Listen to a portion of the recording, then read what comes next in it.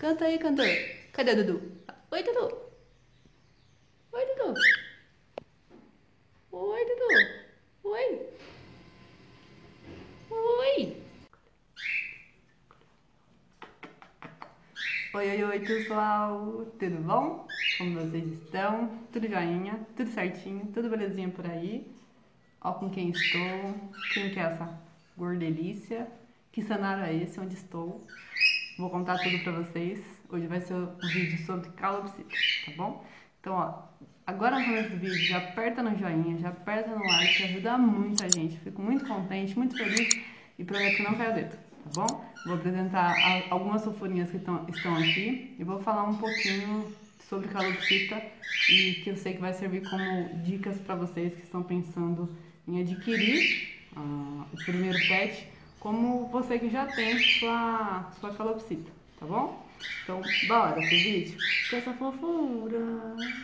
Ó, antes de eu começar o vídeo, eu vou deixar aqui embaixo, na descrição do vídeo, o guia completo sobre calopsita. Nesse guia você vai ter o material na sua mão, quer dizer, na sua mão não, você vai estar lendo ele.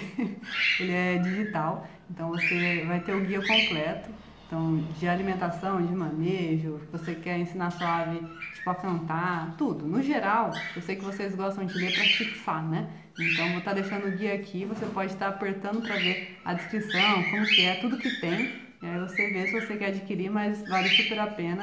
E eu deixo minha recomendação aqui para vocês, tá bom?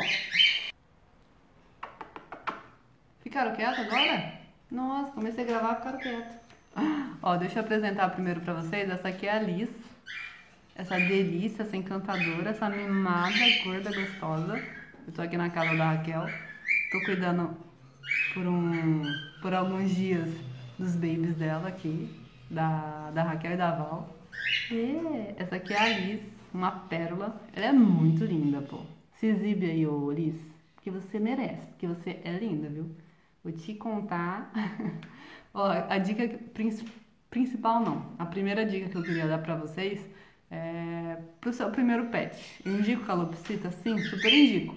É uma ave que vai te atender super bem no sentido de é uma ave que não necessita de um espaço gigantesco, mas não vai colocar ela num espaço minúsculo, né? Porque cada ave precisa de um espaço mínimo. Então, de toda ave, o que eu indico para você ter uma gaiola é que a ave consiga abrir as asas duas vezes na gaiola, para você saber o tamanho mínimo, tá? Ideal para sua ave. Então a, a calopsita tem que abrir a asa duas vezes. Vai abrir duas vezes para você saber o tamanho ideal, tá? É, calopsita vai comer, aí você vai decidir o que você quer, alimentação, mistura de semente ou ração extrusada. E aí é legal você dar um pouquinho uma balanceada com farinhada também. Claro que necessita também das frutas, legumes e verduras. Você pode dar, ir dando em dias alternados, tá? É, calopsita é muito mansa? É, muito mansa. Mas assim, tudo tem. Tudo depende, tudo depende do seu manejo e da personalidade da ave também. Essa aqui é a mais manhosa de todas que tem aqui. E tem 13 calopsitas aqui atrás de mim. Depois eu vou dar um, um tourzinho aqui para vocês conhecerem. Mas no geral, ela é a mais mansa. Tem outros mais mansos que deixam fazer carinho? Tem. Mas ela é a mais mimada, ela é a mais dengosa. É toda calopsita que você vai comprar que vai ficar assim? Não, não é. Tem calopsita que vai ficar muito dengosa, tem calopsita que vai ter a sua personalidade forte, que nem o Dudu que eu vou te mostrar ali. Ele super com as mães, ele super adora, né? Com a mamãe, com a vovó, ele super gosta. Mas Suelen, tipo, claro, né? Não tá acostumado tudo mas ele tem a personalidade forte. Ele não vai ficar aqui no meu colo pedindo carinho assim. É... Quem mais tem aqui? Ah, tem uns ali que não foi pego manso tudo, mas eles, assim, eles aceitam o, o manejo, trocar a ração de gaiola, tudo, mas ele não vai vir na sua mão. Mas aí é outra história porque não veio manso, né? Mas falando em ave mansa, tem ave que vai ser muito muito dengosa de vir atrás de você, de pedir carinho, de não desgrudar de você. E vai ter aquela ave que vai ser mais independente. Né? Então tem os dois gêneros, tem os dois tipos e não tem a ver, tipo, sexo. Né? Fêmea e macho não tem a ver não. O que vai variar é o seu manejo, é o seu contato e a personalidade de cada ave. Então isso varia muito, isso conta muito. Então vocês têm que prestar bastante atenção. Tanto macho como fêmea pode aprender a cantar, falar? Sim, tanto macho quanto fêmea pode aprender. Mas vai depender de tudo da, da, ave e do seu, do seu ensinamento, né? As aves aprendem, acabam aprendendo muito por repetição, mas não é que você vai colocar é, uma, um CD para sua ave ficar o dia todo ouvindo, dá certo? Vai dar, pode dar na verdade, né? Mas eu, eu gosto mais do, do que é, do, do mais simples, né? Que é você todo dia de manhã você vai ter um contato com a sua ave, né? Então você vai chegar lá e vai falar oi, todo dia né? Aí depois o oi, tudo bom? Aí, oi, bom dia. Então, suave vai aprendendo com a ligação que você vai tendo com ela. Então, o contato, carinho que você vai tendo acaba sendo mais prazeroso para ela também. Então, ela aprende mais facilmente, né? E, nossa senhora, que vontade de morder essa delícia. É muito mimada, pô. Nossa! Nessa fase, eles estão na muda de penas as aves daqui e no geral, aposto que a sua também.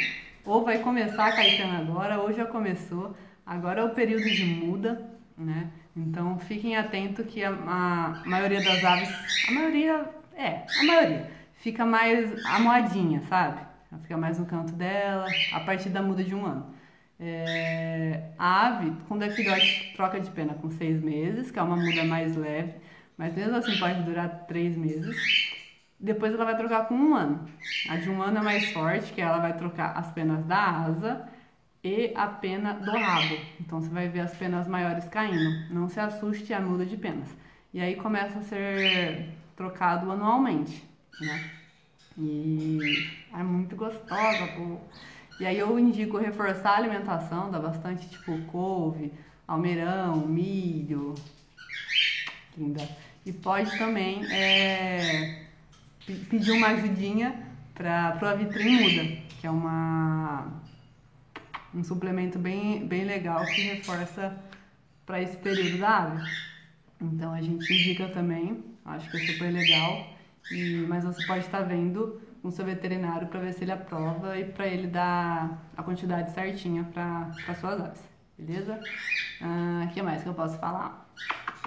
O ah, que mais que eu posso falar? Eu vou dar um tourzinho ali com vocês e vou mostrar um pouquinho da turminha e vou falar as mutações também, já que tem bastante mutação aqui, para vocês que gostam de saber as cores, os nomes das cores. Ah, eu tenho uma ave dessa cor, eu não sei. Então vou mostrar para vocês, vou mostrar as cores e aí dá para falar as mutações também, tá bom?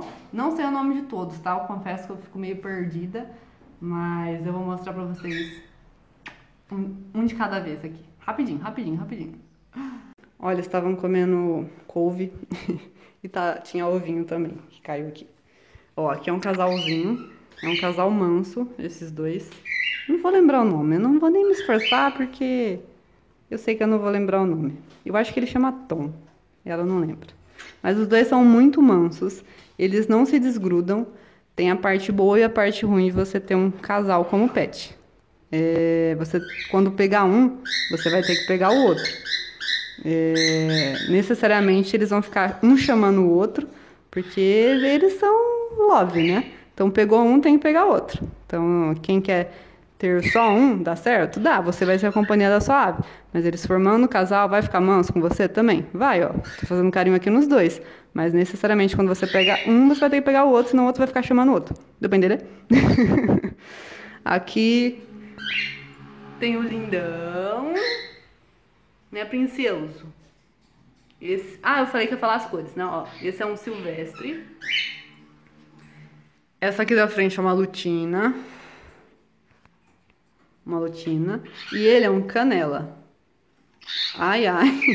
Ó, esse é um canela e esse é um silvestre. Tá vendo que o silvestre, ele é cinza, ele é mais escuro. E o canela, ó, dá pra ver a tonalidade dos dois. Pra vocês que tem diferença, é, que tem dúvida na diferença, né? O canela é um tom mais clarinho, mas. É, mais claro, não tem o que falar, é mais claro. E o, o silvestre é mais cinza, forte, né? Tá comendo uma couve aí, amiguinho? A lista ali, eu coloquei ela ali. Eu já ela vai dar o rolê dela. Aqui eu já mostrei. Ah, essa aqui é uma pérola, canela, cara amarela. Olha que linda. Olha esse desenho dessas penas aí, que maravilhoso. Olha, ainda faz charme pra câmera, gente. Nossa, modelo essa menina. Ela é mansa, mas ela é dramática, ó. Só dramática. Ai, que amor, pô. Que amor. Que amor. Ele tinha se machucado asinha, mas ele já tá bem, tá? Agora é mais cicatrizando e secando. Aqui é um lutino. Aqui é um arlequim pérola. Aqui é o cinza cara branca. Que é como se fosse o silvestre, só que do, do cara branca, né? O silvestre é cara amarela e esse aqui é o silvestre cara branca. Nós podemos falar assim. Aí aqui tem uma pérola canela. Lindeza. Aqui tem esse maravilhoso. E yeah. Aí, eu, eu tô filmando bem hoje, né? Nossa senhora. Esse aqui é um arlequim cinza cara amarela. Todo manchinho, todo bonzinho. Todo bonzinho esse cara, pô. É uma gacinha. É uma gacinha. E o Dudu? O Dudu, acredite se quiser, você que tá chutando a mutação dele, falando que é um albino, não, ele não é um albino. Ele é um clear. O clear é quando a ave é uma reversa e ela vai limpando, né? Então ele não tem mais marcação, então ele não possui os olhinhos vermelhos. Então você pode ver que não tem olho vermelho. pode ser olho azul, pode ser olho verde, mas ele não tem o olhinho vermelho. Ele é bonzinho, mas ele é atentado, então ó, ele vai ficar tentando pegar os outros. Né, Dudu? Né, Dudu? E Dudu? Ele fala, gente, ele fala: Oi, Dudu tudo bom? E outras coisas que eu não lembro. Mas ele fala, caramba, mas vai falar comigo? Não vai. Então fala com a mãe dele. Com a mãe, com a avó, que ama a avó dele. Né, princesa? É. É. Nossa, eu tô filmando, é uma beleza hoje. Hoje eu tô. Ainda bem que eu não. eu ia falar coisa errada aqui já. É. Ah lá, só ele vai filmando, a câmera vai subindo. E você pediu o like do pessoal aí? Ah, deixa o like aí. Ai, meu Deus, que vontade de apertar. E tá todo mundo na muda aqui. Banho, banho na muda é uma ótima alternativa também. Ontem eu dei banho neles. E aí vocês podem deixar. Deixa eu mostrar pra vocês, peraí. Ó, aí aqui fica de opção pra vocês. Ou vocês deixam uma banheirinha, né, pra sua ave. É que, nossa, a Raquel é muito caprichosa, né? Muito. Quer tudo melhor pros bichos. Ela comprou realmente uma banheira, né? Ai, que linda. E você pode deixar ou uma banheira para eles tomarem banho, né? Ou você pode dar com um borrifador. Esse aqui é o pequenininho, ó. Que a gente tem lá em casa é maior. É, então pode ser ou com borrifador ou deixar uma banheirinha para as aves. E aí você coloca a água rasinha e eles vão se banhar. Você não precisa dar banho neles, você não vai ter que esfregar nada, não vai ter que colocar embaixo do chuveiro, não vai ter que passar creme, shampoo, condicionador, nada, tá? É só água mesmo, eles vão se banhar e eles mesmos vão se secar e tá tudo certo. Não tem que colocar nada na água, sem segredos. Tem alguns que faz super amar e tem uns que são cascão e não vai tomar banho e vai fugir da água. Aqui tem até uma caixinha de tudo que precisa, né? para os primeiros socorros deles. Ai, é muito, muito amor, gente. Eu não aguento Raquel, não. Olha, aqui no geralzinho aqui, aqui tá improvisado, tá? Não é o local deles aqui. É, eles estão aqui embaixo que eu estou cuidando deles, então aqui nesse espaço ficou melhor. Mas eles têm o cantinho deles e ficam super de boas, ficam soltos, a gaiola fica aberta. De noite, na hora de dormir, cada um vai pro seu cantinho. E é uma gracinha. Oh, meu Deus do céu. Aí esse aqui é o casal, né? Aí esse aqui é a vela. Aonde vai esse casal, a vela tá atrás. Achei muito engraçado, muito fofinho, pô. Aí agora vai dando o horário de soninho deles, começam a se limpar, né, lindeza? Dudu ama um espelho. Não, o Dudu é amor próprio. Ele se ama, não quer saber de ninguém e pronto, né, Dudu? Tem que ser assim, pô. Precisa me ensinar. Viu, Eduardo? Eduardo, menino.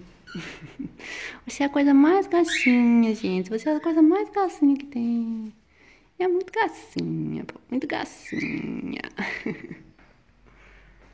Ó, então consegui filmar todos pra vocês. Mostrei cada um e consegui deixar algumas dicas aí. Se vocês querem saber mais alguma coisa, deixa aí embaixo nos comentários que pode servir como outros vídeos também para eu gravar, beleza? Então, ó, lembrando que aqui embaixo na descrição do vídeo tá o link do guia completo de calopsita e acho que é bem bacana vocês darem uma clicadinha para vocês verem tudo que tem ali, né? E se interessar vocês, aí vocês adquirem, beleza? Então foi esse vídeo de hoje, espero que vocês tenham curtido, gostado, deixado o like e não esqueça de se inscrever no canal tá bom? Então foi isso, tchau, tchau e até depois, depois de amanhã.